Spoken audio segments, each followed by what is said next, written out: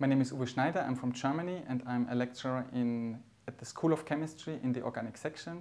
My area of expertise is catalysis or green chemistry. And I would like to briefly show what we are interested in. For example, if you have an electron-rich species A that is supposed to react with an electron-poor species B, then a catalyst can facilitate this reaction to form product C. And we are interested in, have, in designing a catalyst that is able to activate both reagents at the same time. For example, an element in a uh, low oxidation state.